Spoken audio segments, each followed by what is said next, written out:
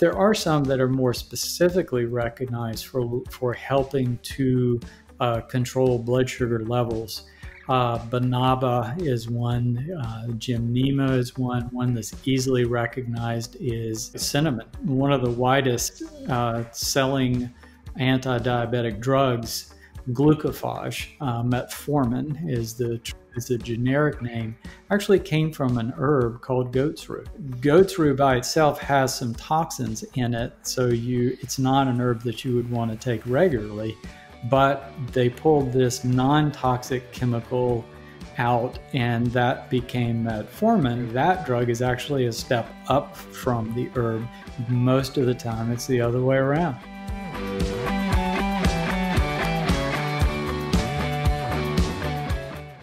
Hey everyone, today we have Dr. Bill Rawls, who's been practicing medicine for over 30 years and the author of a new book, which I loved, titled The Cellular Wellness Solution Tap into your full health potential with the science based power of herbs. So today we're going to go all in on herbs. Welcome, Bill. Hey, thanks, Jason. Pleasure to be here for sure. So let's start with your personal health journey. In the book, you talk about this powerful moment. It's it's beautiful. You're on the beach in North Carolina at age 47, but then something goes wrong. So let's start there. What happened and how has that experience shaped you? Yeah, you know, it's the it's a story of this conventional physician who's now promoting herbs, which is kind of weird, right? And and we have these life things changing things that happen and they push us in a journey that we don't expect. So you know, 30 some years ago, I went to medical school and came out and went into obstetrics and gynecology because I really enjoyed the wellness aspect. You know, it was dealing mainly with healthy people, bringing life into the world. But the deal was, I practiced in a small town where you had to take call every second to third night.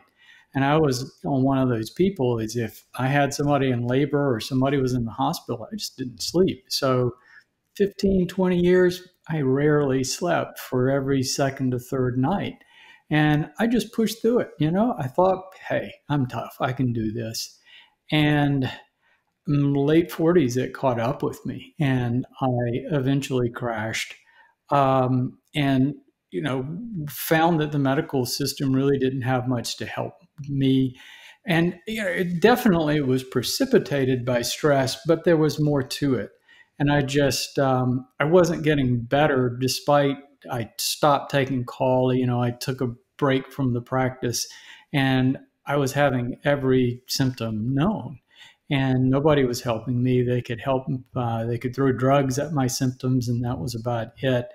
First, I identified with fibromyalgia. Later, like a lot of people with fibromyalgia, found that I was carrying some of the microbes associated with uh, Lyme disease, identified with that. Tried antibiotics, they didn't help. Found that chronic Lyme disease wasn't even a diagnosis that was recognized by the medical establishment. Um, and then I started looking for alternatives and did, tried lots of stuff.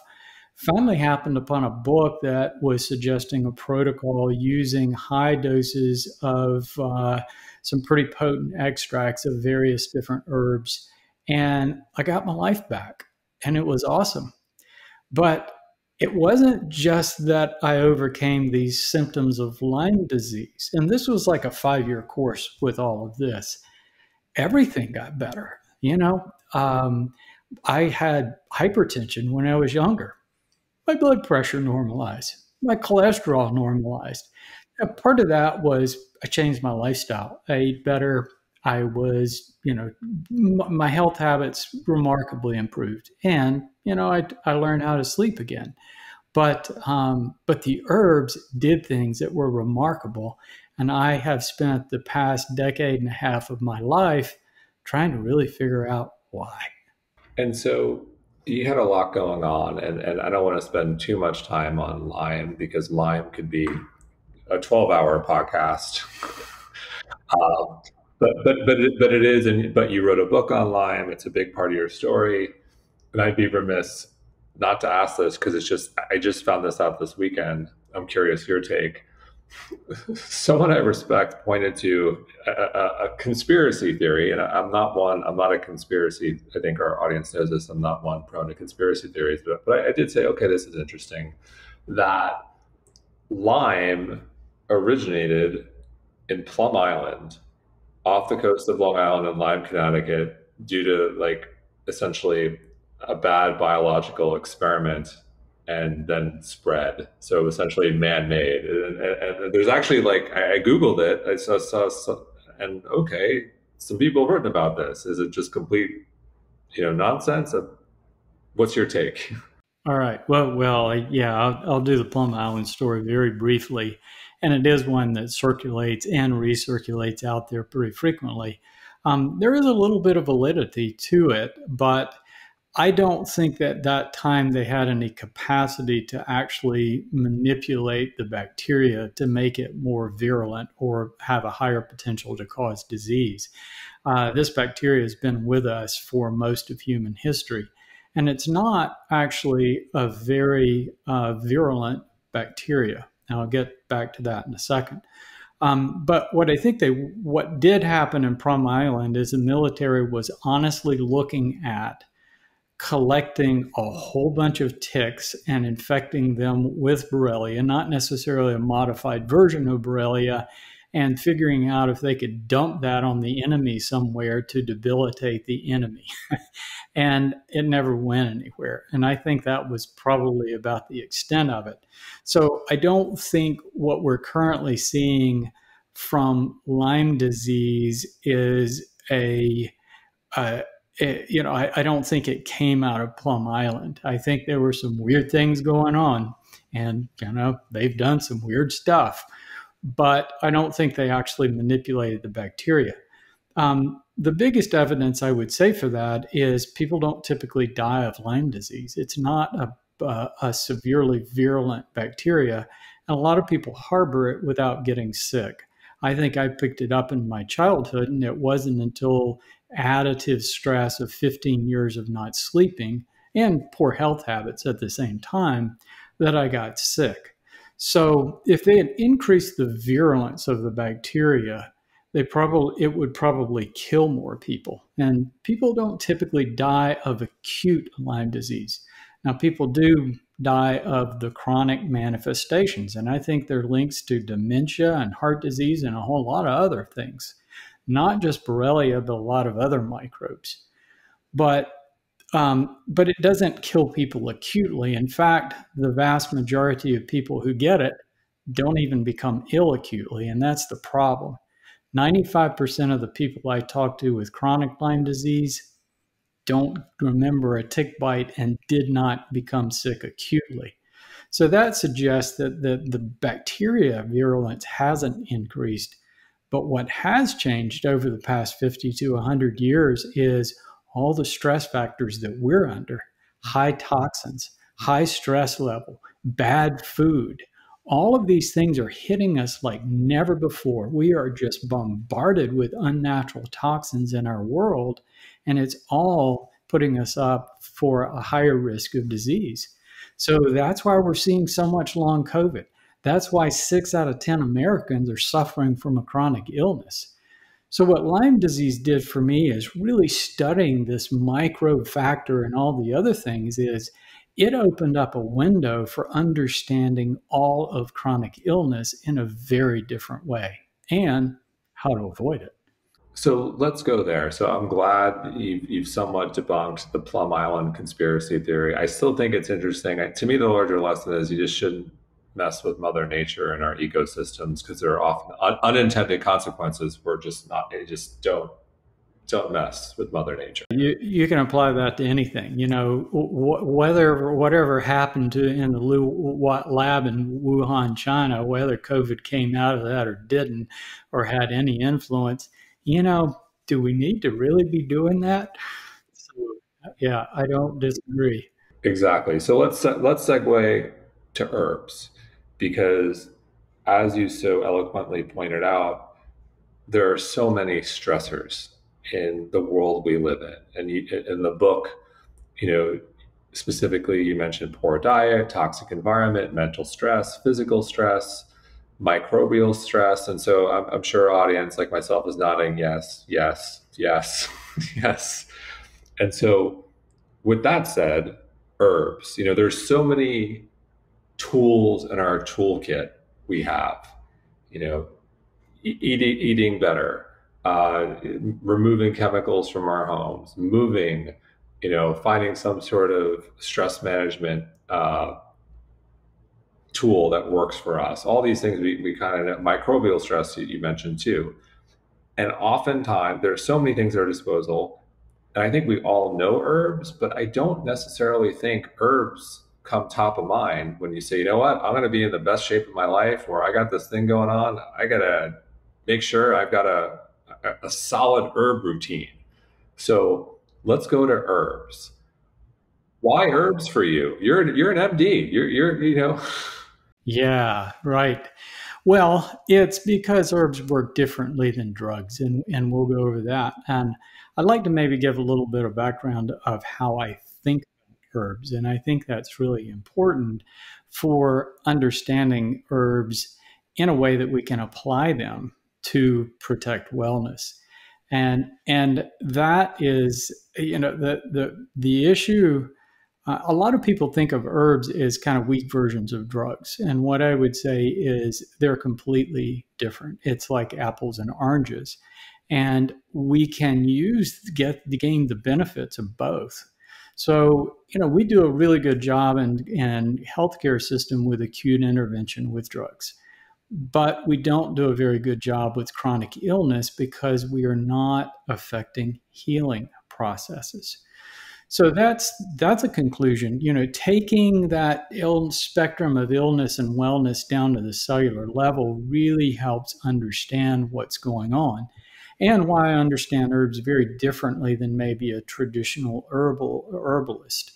Um, so when you look at illness or symptoms, what we're talking about is cells that have been stressed in the body. We're all made of cells. Everything that happens in the body is a function of cells, whether that's your heart beating or walking across the room or thyroid hormone being produced. It's all being done by cells.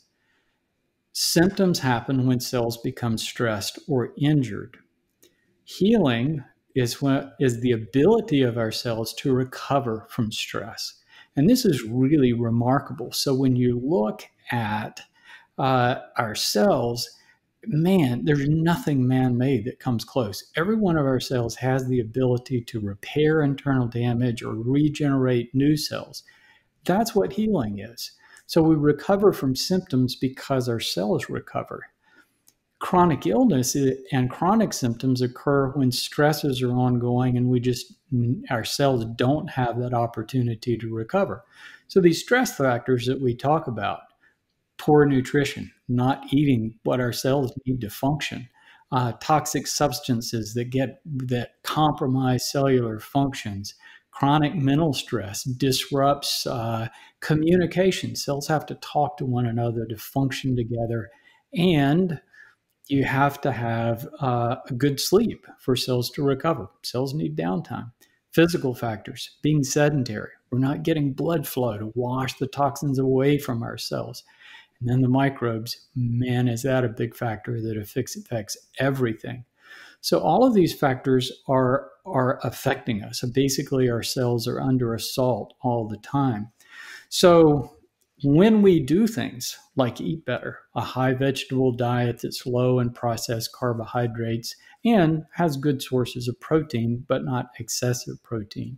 Um, we detoxify our world. We get good sleep and keep our stress level down. We exercise regularly that just washes the toxic substances away from our cells. And be smart about microbes, but also just be smart about keeping ourselves healthy those things are all great, but you can accentuate, you can enhance every single one of those things by taking herbs. And that is the most remarkable property of the herbs. So, when we're talking about herbs, we're talking about plants, right? Plants all are multicellular organisms, just like we are. And plants have to protect their cells. So plants are, are the best chemists on earth. They use chemistry to solve problems. So plants produce these chemicals that we call phytochemicals, plant chemicals, that neutralize toxins, counteract free radicals, uh, help us detoxify the body or detoxify cells, counteract all the stress factors, including all the microbes. So all plants have antimicrobial properties. Now, things that we define as herbs have a biochemical ma- makeup that matches ours. So it's like poison ivy.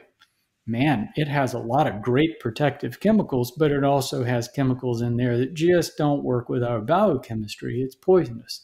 So we would never take poison ivy as an herb. But um, interestingly, most of the plants out there benefit us. So when we take an herb, we gain all of those benefits. Our cells gain protection against all of these stress factors. So, whatever efforts you're making, the herbs are going to accentuate that. You know, when I was researching the book, I found a study that defined hundreds of herbs have, have anti-diabetic properties. They protect our cells from car- excess carbohydrates, um, and they normalize insulin and other hormone pathways. So you have that. Um, all of our herbs have have uh, antioxidants that protect against free radicals. Um, they help neutralize toxins and protect the liver. So, all of these herbs are doing these wonderful things to protect our cells, which enhances healing. And that's something drugs can't do. So, what the drugs are doing is counteracting all the cellular stress factors, promoting healing, which takes us to a better place. And the big thing that all herbs have. Now, some herbs are, have stronger properties than others, but all herbs have a broad range of antimicrobial properties. Now, it's not just like a chemical that kills bacteria like an antibiotic. Here, you're talking about a spectrum of hundreds of different chemicals that have a wide range of activity against viruses, protozoa, yeast. But interestingly, when you don't take when you take an herb, and this is very different than an antibiotic, and this is something that I just observed over time. When you take an herb with antimicrobial properties, and this is true of any herb, it doesn't disrupt the gut flora. You know, that plant has to define friend versus foe. So these plant phytochemicals are selective for potential potential pathogens but they don't kill our normal flora. So when you're taking herbs, it actually helps balance the gut microbiome. In fact, I've found that herbs, many herbs, work better than probiotics for balancing the gut. I've been taking herbs continually for 15 years. My gut was a wreck for years. It's great. My microbiome is nice, and I don't take a probiotic. So all those things together, yeah, no, it's, it's, it's a lot to unpack there. And, you know, you mentioned antibiotics, pharmaceuticals, if you think about it, come from herbs, come from plants. You know, that that's, I, I, I've read some pieces where the environmental conversation, what we're doing in terms of deforestation, you know, that there's a race to find, you know, as we think about threats to civilization, you know, one, you think of microbes and what's happening and becoming antibiotic resistant.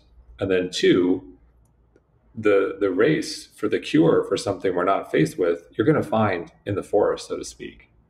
And we're eliminating. You, you talk about phytochemicals and what's happened over the years. We're thinking about herbs and plants and how you know we need abundance. If we actually are going to use herbs in their more natural form or in a pharmaceutical form if, if it's life threatening it comes from plants. And what we're doing environmentally we're, we're kind of limiting what's available in the future and that's worrisome as we think about viruses and microbes and becoming antibiotic resistant. Sure. Yeah. It's um it, it is interesting. Yes, and it's true. I, I found a source that I used in the book that suggested that uh, 70% of our pharmaceuticals came from uh, plant sources at one time. And all of our antibiotics came from some natural source. They either came from a yeast, a plant, or a bacteria, every single one of them. But interesting observation. I think a lot of people have, when you hear that, people think, oh, well, we've pulled our drugs from these things we've used as medicinal herbs through history. Yeah, not really. No, it's not true. Um, what we're looking for in plants for drugs is very, very different than what we're what we're looking for when we look at our healing herbs. So a lot of plants have poisons. Like I said, poison ivy um, has things that are toxic to us. And over time, poison ivy has been evaluated for potential drug use on a number of different occasions. Uh, they've actually tried to use it for eczema and a variety of things. So, what they're looking for in pharmaceuticals is specific chemicals that they can pull from the plant that has a very targeted effect, typically blocking an enzyme, activating some pathway to achieve a specific function. So that's one difference. So our herbs are basically protecting against stress factors that allow our cells to recover from stress. Healing. Healing takes time, it takes a while. We don't want to wait for it. We want that symptom gone now. So, what we're doing with a drug is blocking specific pathways that affect cellular behavior in a certain way that blocks a symptom or slows down a disease process.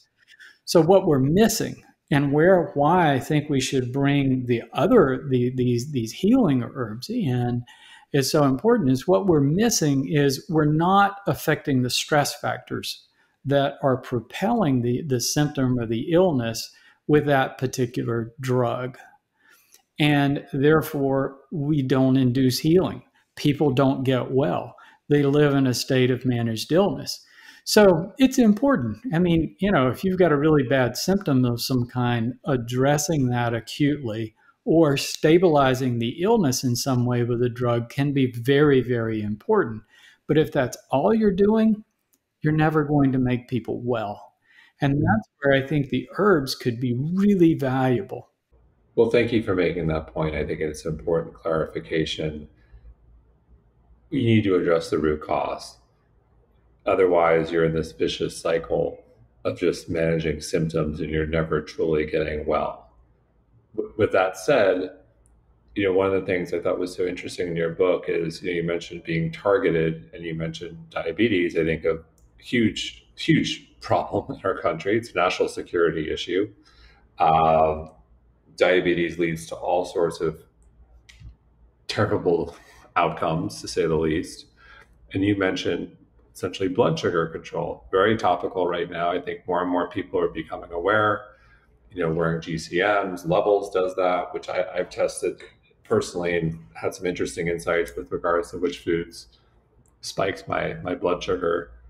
I never really thought about herbs playing a role there. So let's let's spend a moment at these targeted, you know, using herbs in a targeted way. That was one of the ways that stood out to me in the book. So can we spend a moment talking about which or how and which herbs can help us if we're concerned about blood sugar control? Um, yeah, well, for, first off, I would say there are no herbs or no amount of herbs on earth that are going to protect anyone from the level of carbohydrates that most people are consuming today. Um, but we all fight that battle. You know, it's just hard. Um, carbohydrates seep into our food no matter where we go. I don't think the message is have these herbs and then enjoy three donuts, but. you know so we're all we're all trying to cut our carbs and and we're when we're doing it in different ways with paleo diet and all kinds of different things um, and it, so so it's a struggle that we all face um, but the, yeah, the herbs can help us get to that place a little bit better in a variety of ways. So the problem with carbohydrates, here we're talking starches and sugar, is all of these things break down into simple sugars. Uh, fructose, glucose. Table sugar is fructose and glucose. For high fructose corn syrup is fructose and glucose. Starches are change of glucose. All the fructose is converted to glucose um, in your body. And glucose is what we measure to when we talk about someone's blood sugar. Um, we're measuring glucose levels.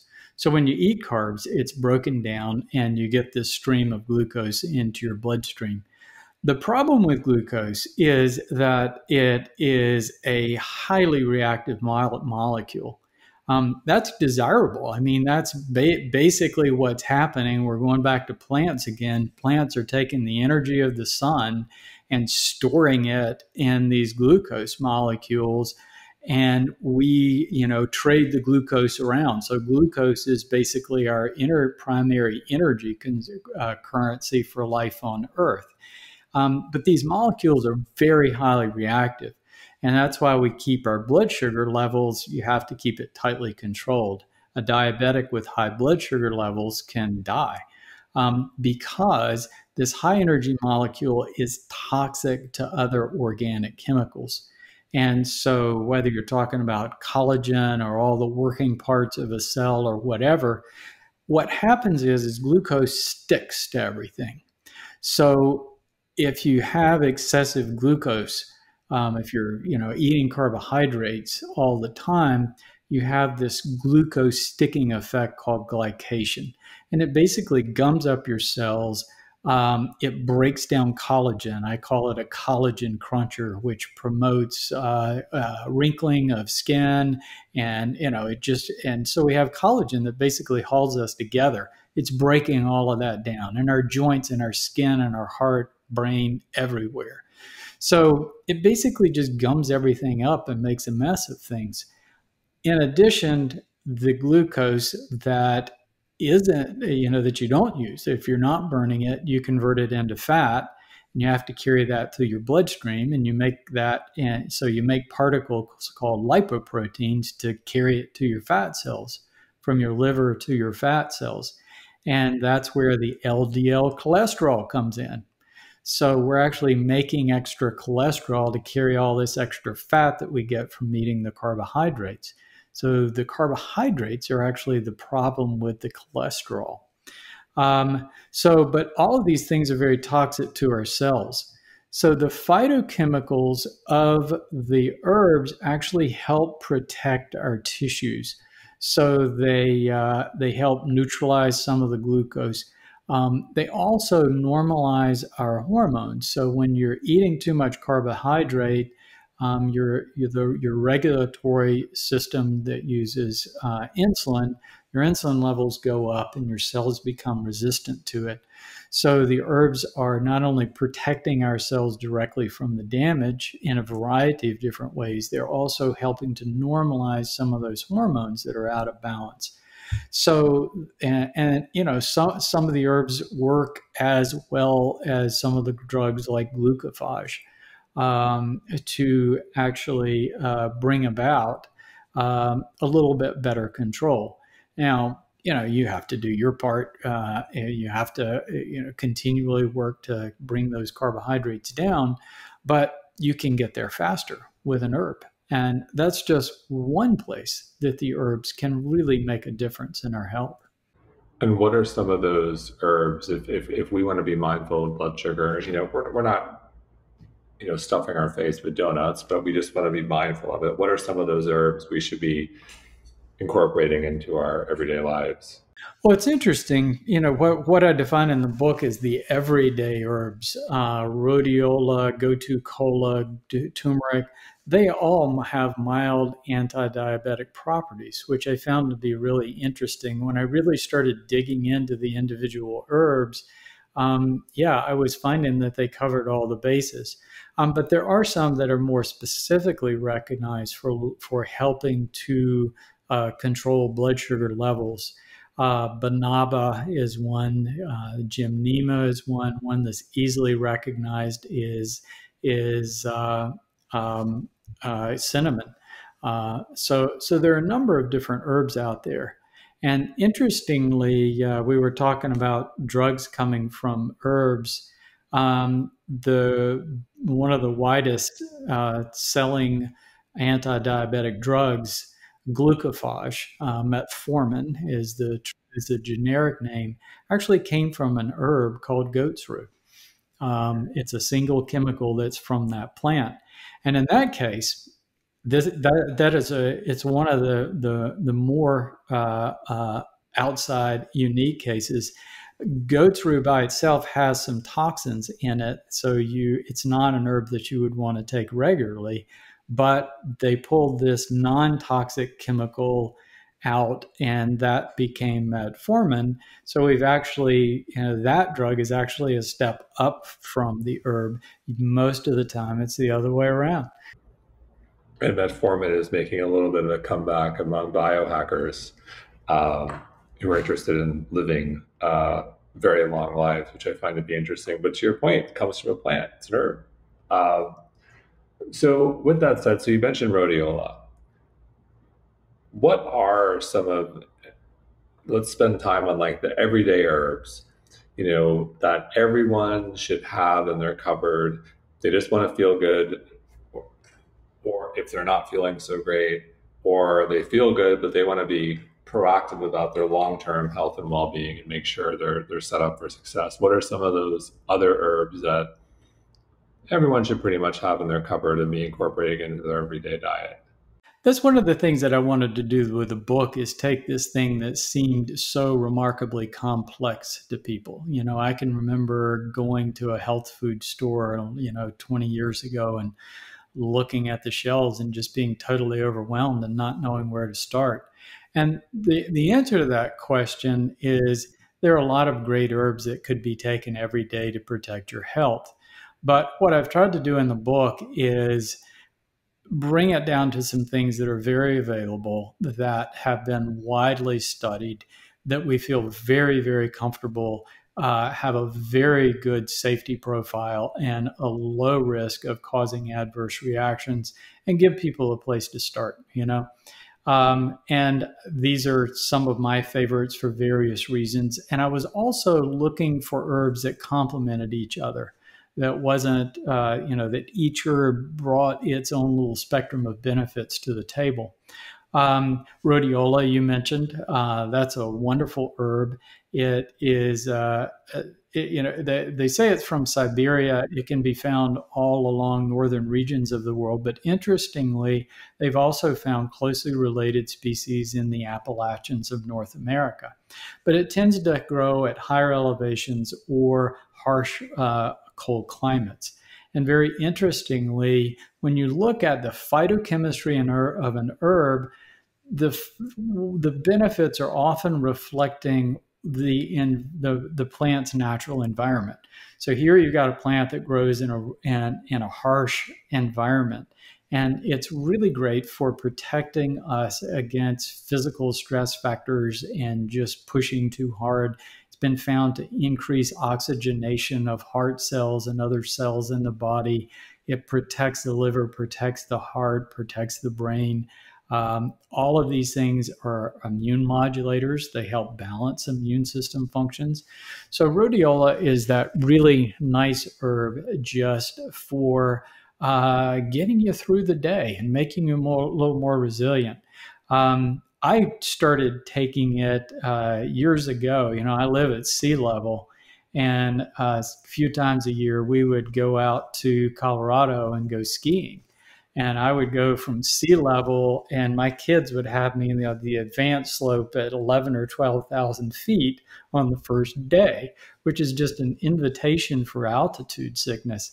And I would load up on rhodiola before I went. And, you know, maybe I wasn't beautiful out there though the first day or two, but I hung in there and I never got altitude sickness.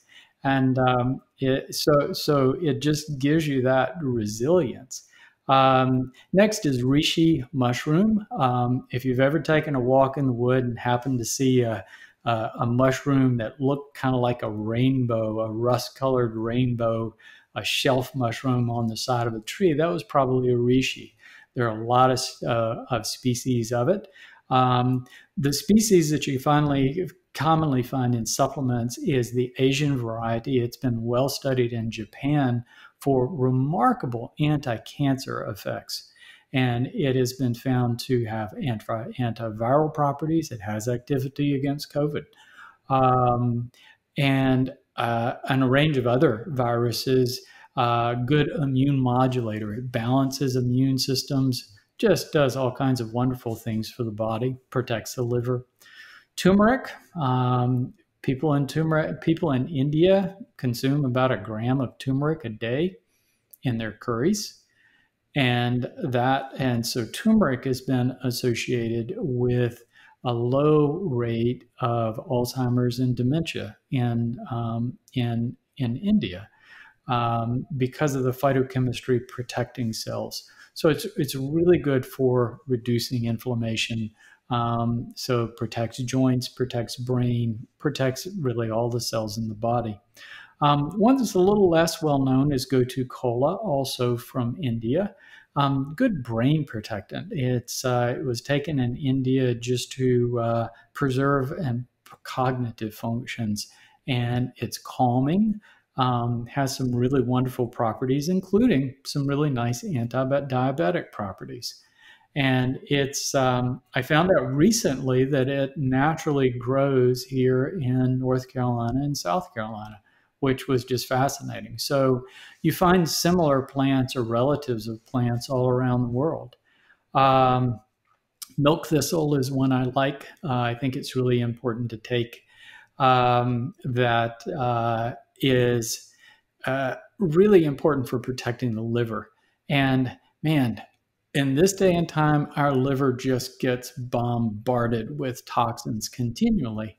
And I made the observation back when I was doing laparoscopies, uh, surgeries that you look inside someone's abdomen. Um, I always look to the liver. And if you look at a 20 year old, they had a nice, beefy red liver. But somebody by age 40 or 50 started having a mottled yellow liver. And it's where we've burned out fat cells or burned out liver cells and replaced them with fat cells. So, as we age, we lose the ability to process toxins, but also manage cholesterol and blood sugar. So, it's so loss of liver function is one of the reasons our cholesterol and blood sugars go up. Milk thistle has been found to regenerate liver cells. Um, I've been taking it for about 15 years.